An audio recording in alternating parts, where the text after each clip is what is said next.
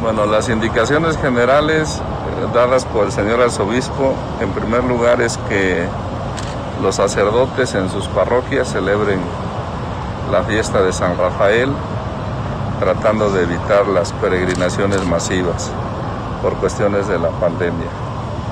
Y em, ya aquí en Catedral se reduce el número de celebraciones.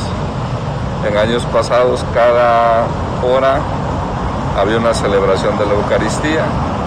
Ahora nada más habrá celebración ahorita a la una, a las 6 de la tarde, a las 9 y a las 11 con las mañanitas. Y el día de mañana tres Eucaristías, a las 8 de la mañana, a las 12 y a las 6 de la tarde.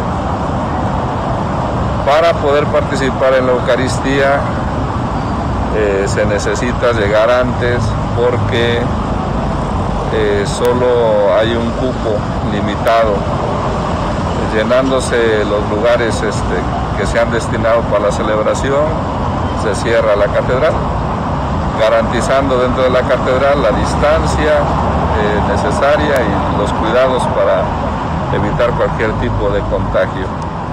Y tenemos en esta ocasión la, la visita del nuncio apostólico, eh, que presidirá la misa de, mañana a las 12 del día. Y esa celebración es con pase personalizado, de tal manera que quienes nos escuchan o leen o nos ven, pues no,